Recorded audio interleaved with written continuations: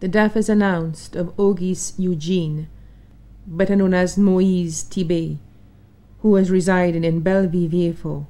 He passed away at his daughter's residence in Grace, Vieux Fort on the 30th of October 2013 at 6:23 p.m.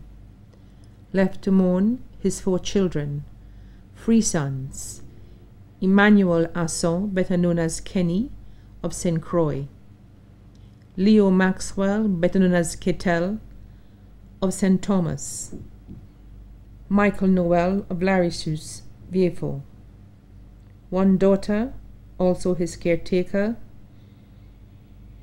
Eulalie Simon, better known as Rosalind, in Grace Vieux Fort, 21 grandchildren, including Simone Shalry and family of Grace.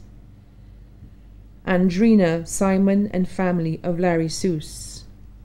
Sonia Japierre and family of Grace. Cletus Simon and family of Castries. Nelbert Simon and family of Cedar Heights. Kirian Shalry of Grace. Linus Asso and family in St. Croix.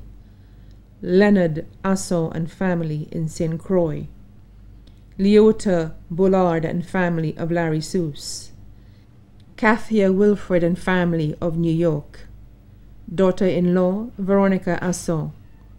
Left to mourn 42 great-grandchildren and 21 great-great-grandchildren both here and abroad. The Shari family of Grace, Belleville, and Mont Cayenne. The Eugene family of Soufriere and Augier. The O'Brien family of Belleville. The Assaw family of Belleville and Grace, the Louis family of Belleville. The funeral service of Auguste Eugene, better known as Moise Thibet, will be held at Vieux Fort Catholic Church on Thursday, 14th November 2013 at 3 p.m. and the body will be laid to rest at the Latonnais Cemetery. The body now lies at the Lazarus Funeral Home, New Dock Road, Vieux Fort. May he rest in peace.